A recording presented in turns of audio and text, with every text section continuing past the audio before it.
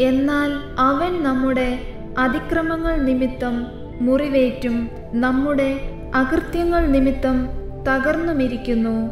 നമ്മുടെ സമാധാനത്തിനായുള്ള ശിക്ഷ അവന്റെ മേലായി.